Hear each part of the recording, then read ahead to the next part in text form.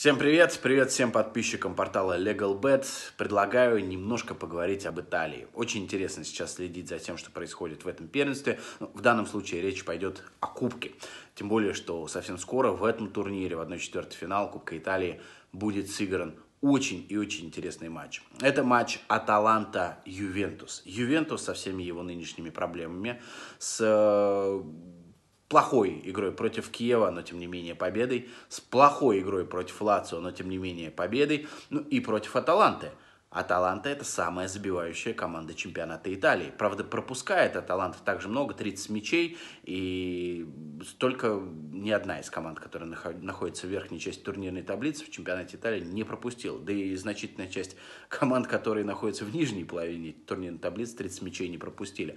Ну, в общем, я думаю, что будет весело, тем более, что играют в Бергамо. Я думаю, что здесь будут забитые мячи, их будет довольно много, несмотря на то, что, опять же, это кубковый матч.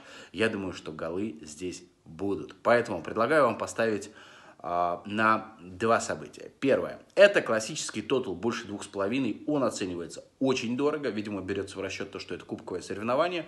Учитывая атаку Аталанты, великолепного Дуана Сапату а, и проблемы Ювенца, я думаю, что здесь будут голы. Их будет достаточно, и они будут не только в ворота Аталанты, но и я вас таким образом подвожу ко второй ставке, которую хочу предложить.